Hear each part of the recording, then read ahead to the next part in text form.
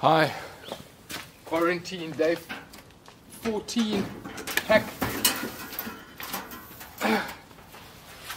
14. So you can buy these tables, they're quite expensive depending on where you go. This one I bought pretty cheap, I think it's Forest Center, I must double check. Uh, but what I did is I got another company to put on these struts over here, so the difference is huge. They stay open when you need them to stay open, and they stay closed when you need them to stay closed. The difference is huge. They put Velcro in over here. I didn't think it would work, but it did. Nice little hack.